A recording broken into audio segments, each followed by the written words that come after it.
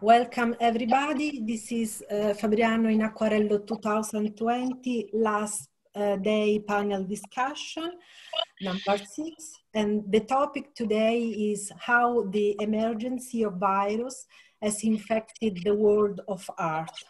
That is a topic uh, we felt we had to afford it. Moderator today is Raul Chakraborty from India. Uh, pa uh, panelist participants are Isabel Alusete from Spain, Lalita Rochemkorn from Switzerland, Ladan Orangi from Iran, Keiko Oshino from Japan, and Raksu Helminen from Finland. Thank you everybody for joining us and I uh, hope the audience have liked uh, our past panels also. And um, we remind you that it, it was not our task to give you answer about the questions we propose, but to give you points that you were um, able to think and to focus on and meditate about later on. And remember that the panels, all the panels, you can uh, see in the recorded version on YouTube in next days soon after the festival. Thank you everybody for joining and I give the line to uh, moderator Raul Chakraborty and thank you Ra Raul for your very big job not only with this panel but with all the panels that you follow and gave information to. Go on. Thank you Anna. Uh, hello everyone. Uh, as you know that uh, art is the most accurate indicator of the strength and mirror of a community. And in present context where uncertainty happens and social distancing occurred, we will need every aspect of the arts to get through and reveal once these trying times are behind us. Today, our topic of discussion is that how the emergency of COVID-19, the virus, has infected the art and vis-a-vis artist. Before I introduce my team, uh, I would like to introduce myself. I am a self-taught artist from India, uh, practicing watercolor for last 10 years. I'm the uh, country leader of India, uh, India Fabriano in Acquarello and co-founder of In Watercolor India and Jumbish Creations Private Limited, which is into art technology. I would uh, request uh, Ladan to introduce yourself, please. Uh, hello, everyone. Uh, good day. I'm uh, Ladana Orangi, an Iranian artist. I have AM in art and working as an instructor at university. I have about uh, 20 years experience in painting and urban art. Uh, that I have got several prizes for them. I had uh, more than 50 uh, solo and group exhibition in Iran and other countries. Thank you. Thank you, Ladan. Isabel, please. Yes, okay. Hello, my friends. I am Isabella Losete. I'm representing the watercolorist from Spain in Fabriano in Acquarello. How many, many years ago? 10 years ago. Um, thank you very much for this uh, possibility in the world. Thank you, Fabriano and Acquarello and the team. Raksu, please introduce yourself. Hi. Uh, thank you, Rahul. I'm Raksu Helminen, a passionate watercolor artist and leader for Finland at Fabriano in Acquarello. I confess being addicted to this wonderful global event since I visited it for the first time four years ago. I did not study arts at the university, but languages, economics, and marketing. However, art was always an important part of my life, and I finally started painting for 12 years ago. With my art, I want to express my joy of life. So happy to be part of this artist community. Art connects oh my God. in a wonderful oh way. Thank you. Do you hear me? And, and do you see me? Hello, Keiko. Uh, welcome uh, to our panel discussion. Yes, we are with the introduction. We are already started. So uh, Dalita, could you please introduce yourself, please? Hello, my name is Lalita. I am Swiss Thai, and I was team leader for Switzerland for the past four years. I live in both countries, but now I am in Hua Hin, Thailand, since last October. I started painting since I was very young as a hobby. So I have painted with many different mediums. I have lived in more than 13 countries around the world in the past 63 years, and I have completed five books so far. I am now a watercolorist and a writer. I started my career in watercolor as botanical artist. My aim for botanical painting is for plant conservation and environmental protection. And my aim of painting watercolor now is giving back and passing on all that I have learned over the years. Thank you. Thank you, Lalita. Uh, before Keiko joined us, uh, let's start continue with our uh, panel. Social distancing comes at a great price for both artists and audiences and viewers as well. The thought process of several people and countries is about to change and the myth and arrogance of many are about to be broken. A reality check is really on the cards. So I would like to invite Lalita uh, about her thought on what sort of changes will happen in art world by this virus. Lalita, please. Okay, so during this pandemic, when millions of people fall sick, we are obliged to think of basic necessities for survival. For our body, we need what? We need air, fresh air, water, and food. And for our mind, we need nature and art. And this is the time for reflection in order to prepare ourselves to face with the uncertainties that will come with the new normal. Everything in our life is not permanent, it is impermanent. So the new normal will become normal and we are going to have the new normal all the time. So we have to prepare ourselves. Uh, we see that now during this uh, time, art becomes more visual than physical. This means that we can appreciate art easier from our bedroom, from our home, and um, everything comes to your home. The world, the audience, your viewers, your clients, they all come to your home to connect with the world. That you need two things that will ease you to connect with the world.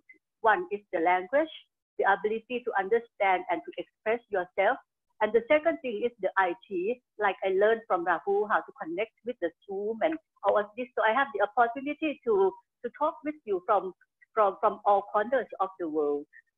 This is one thing. And the second thing, uh, um, the second aspect that I would like to say is that crisis that we have now, crisis brings opportunity. We have to remember that. We open to the new innovation, new idea to cope with the newcomer like what Anna Fabiano Inagualelo has created this platform for us. This is something which is completely new. We have not thought about this in 2019. And that's how we can connect with each other to learn, to share, and to networking. So we have to adapt, accept, adapt with innovation and vision. This transition, of course, needs a lot of courage and vision. We have to think outside the box because after COVID, things will not come back to what it was before. And the COVID-19 is going to stay for quite a long time. So we have to, to adapt to the new situation. Art always depends on economical aspect. So less people will buy paper, watercolor on paper.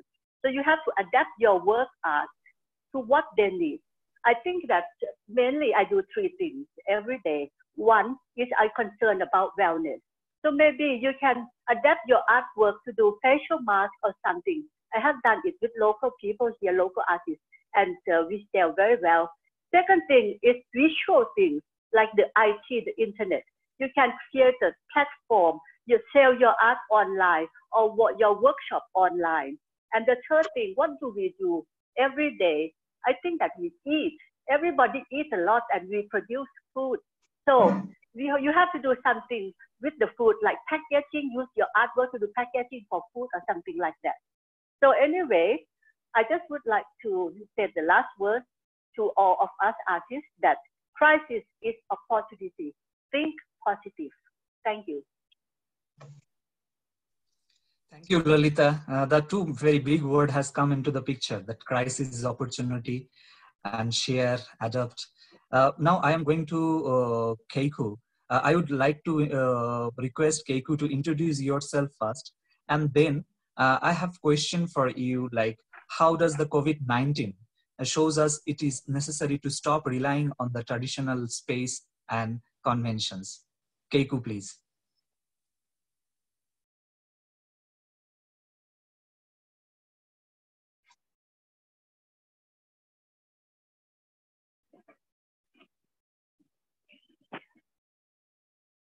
Yes. Um, hello, everyone. I am Keiko Hoshino. I am a Japanese leader. Um, I live whole my, whole my life um, as an artist. I graduated at the University of Art in Kyoto. I moved to Spain 30 years ago. Thank you. And the first question, um, Please go ahead with your answer. yes, yes now.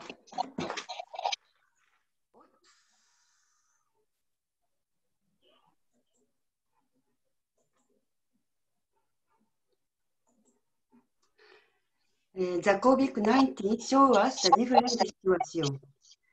I think we have to learn to live with the virus a little by little. But I believe there are more important issues to concern because it could be the beginning of the discrimination with all meanings. To that, we were going to fight till now. But at the same time, we can also say it will be a hope. It is a new beginning of being together beyond the nation, the religions, and the gender difference. It is our opportunity and the proof. Thank you. Yeah, thank you, uh, Keiku. I have another question for you. Uh, that are all medium of art in the subject of virtual learning damaged equally in the quarantine? For example, spatial mediums like sculpture and flat media like painting. Keiku, please. Yes, um, I say in my case, I am a painter and a teacher, so I am having a very hard time now. I don't teach only watercolor technique. I believe the teaching is to find out what each student has, the best part of skill of each one, and the possibility of each. So I always try to teach how can they observe the subject and let them to think what is the meaning of painting for them. Many artists started online class, but for my teaching style, it is difficult for now. I think many artists um, are going the same situation as painters, as sculptors. Thank you. Thank you, Keiku, uh, for your uh, valuable comments. Uh, as I, we can found that there are challenges and there would be challenges for every period of time. And we need to cope up, we need to adapt, we need to start accepting that uh, these changes is going to happen. And uh, for the next uh, uh, process, we, we, I would like to invite Roxu to uh, share her thought on how artists can offer hope among the COVID-19 crisis. Roxu, please. Thank you, Rahul. This is a new kind of global crisis and we should together find creative solutions how to get out of this, if possible even stronger than before. Uh, we all know art is a powerful tool. Each artist has a need to express himself and we all have our unique voice expressing our feelings, we can comfort others who feel the same way. We can inspire and we can open new perspectives. This creates hope. We can also paint hope and joy. Humor is a wonderful tool as well. I would love to see more of it, especially now. Positive thinking is the key, keeping that sparkle of hope and creativity alive. It's extremely important for all of us. Despite of social distancing, we can still uh, stay connected and also find new creative solutions for future through internet.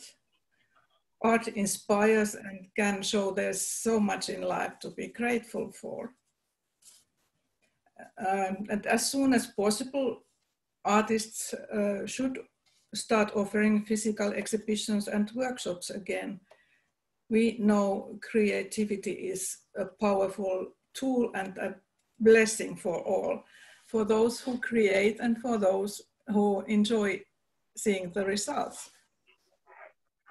Uh, as to art communities, we should support each other and encourage those who lost, lost their hope.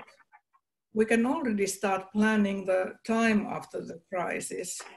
It's not too late and it's not too early. I think it's, it's very actual now. I have already noticed that the crisis uh, brought us artists closer, locally and globally. Supporting and sharing creates hope. So my message is let's stay creative and connected. Thank you. Thank you, Roxu. Uh, it's a wonderful uh, way of uh, approach to the world with the current changes.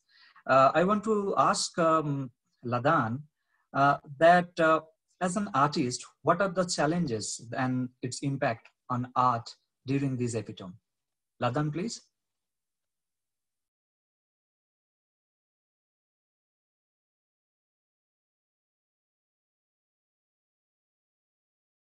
Put your sound on, please, Ladan.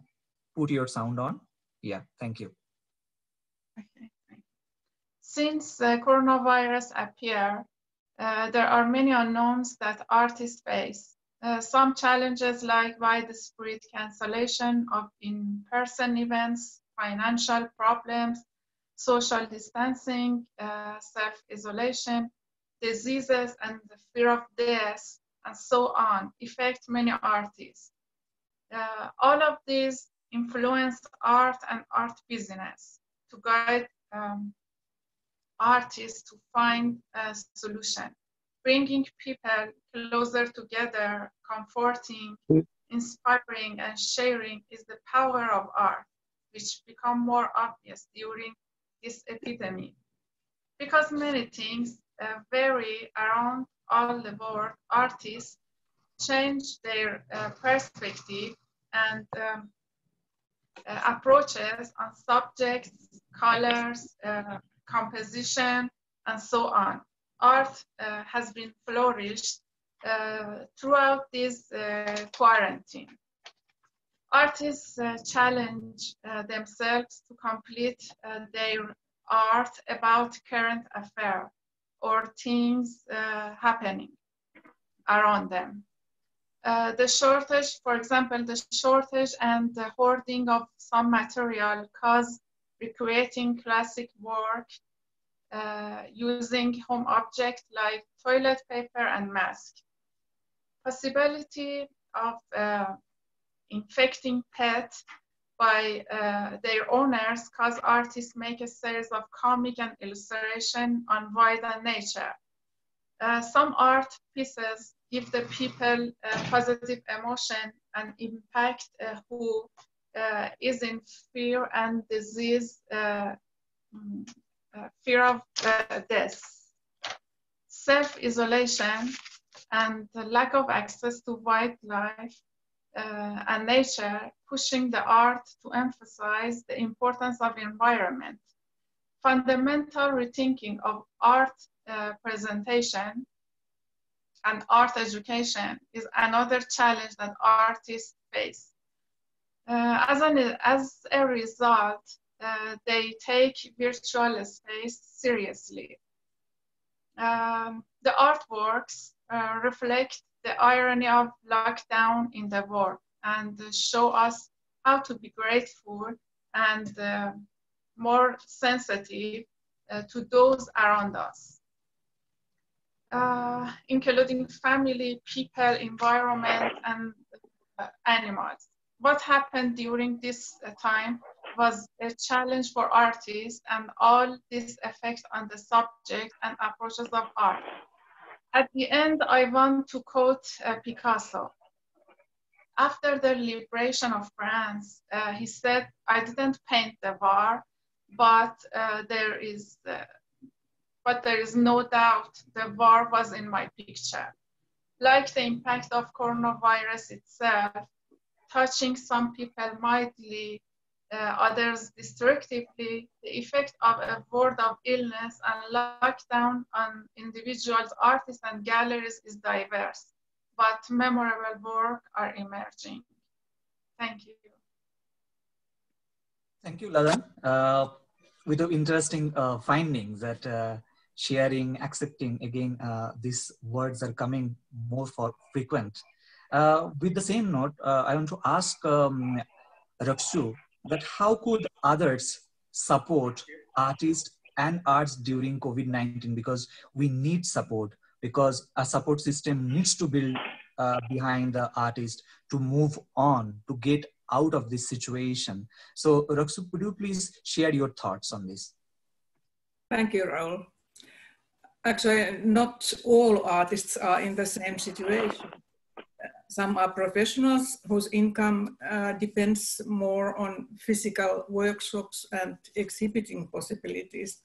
Some artists have further income sources. But in fact, anyone can support artists. For instance, uh, when you need a present for the birthday or anniversary, graduation, whatever, or for yourself because you are worth it. Don't go to a shopping mall. Check what your local artists have to offer. Uh, and why not start a small art collection for your child or grandchild? A collection that grows every year. It will be remembered and valued. Most artists are also ready to create something special based on your individual wish. Anyone can support his or her favorite artist by giving the artist a commission. Uh, in some countries, it's also possible to rent a painting at a small monthly fee. This is a good option now that the financial situation might be difficult for buyers as well. Enough drops make an ocean. If you happen to be a gallery owner, uh, why not open the possibility to artists to exhibit online on your gallery website until physical exhibitions are possible again? This would, would be a great opportunity for the gallery owner and for the artist. Uh, I also believe if visual artists and local businesses would be better connected, they would find new ways to cooperate to create a win-win situation. This requires some creative brainstorming though. Uh, let's admit many artists hate marketing themselves. But the fact is visibility is important. There are people and businesses out there who could support artists more if they would know them. So my message to all artists, stay creative and stay connected. Thank you. Thank you, Raksu. Mm, with a lot of hope, again, uh, I want to ask uh, again to Ladan that what kind of challenges uh, do you face as an art teacher and art instructor? Because they are the pillar of art who are continuously nurturing uh, artists and art supporting artists. When uh, just what are the challenges as an art instructor when we are far away from our student physically? Ladan. Yes yes. Uh, because of self isolation artists um, art teachers and students bring their classes and practices online. Me as a teacher had some challenges.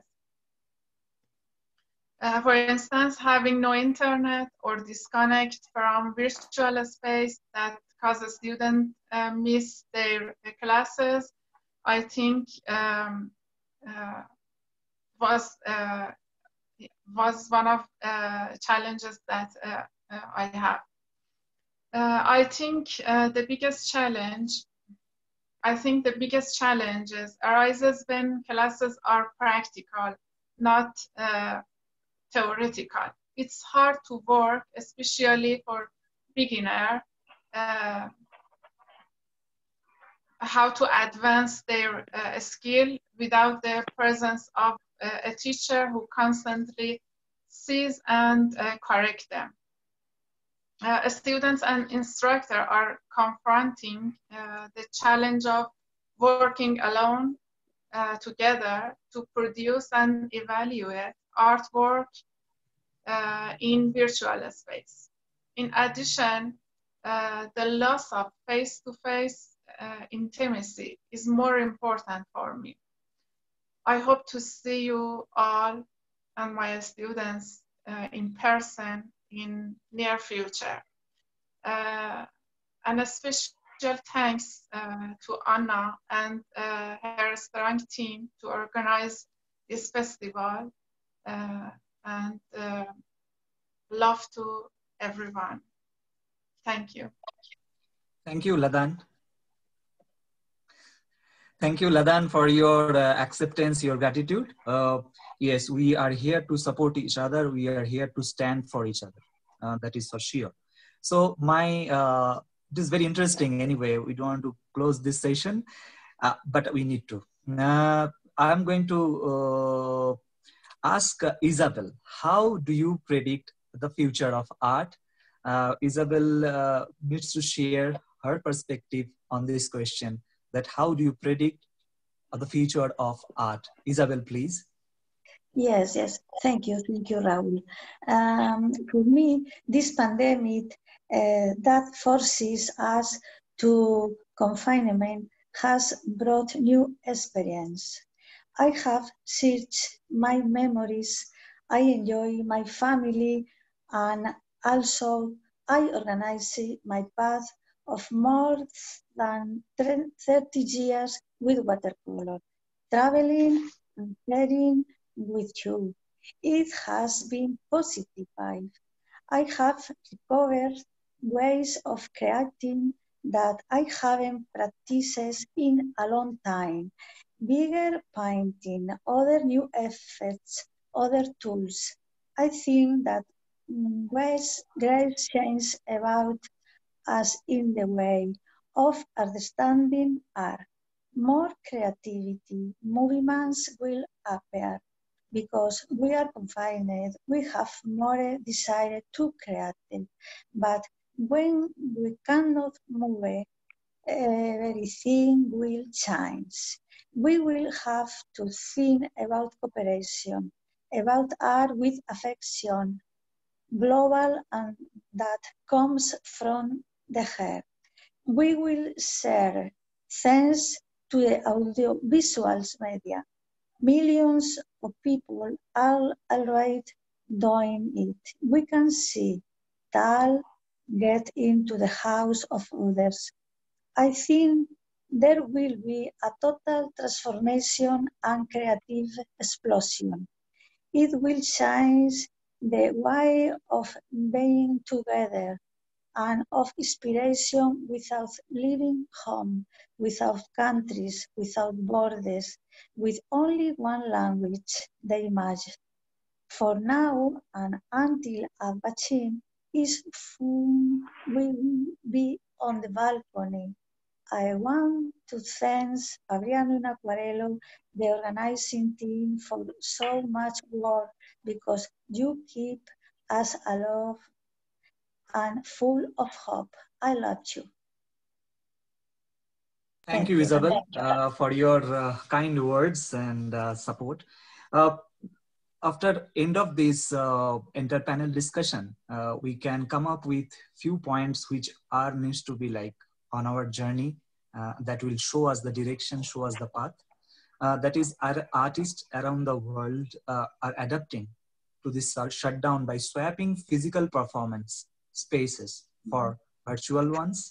Artists are finding creative ways to keep people connected, which we have discussed during this, people connected and sh share their content, share their art during this pandemic that keeps us apart.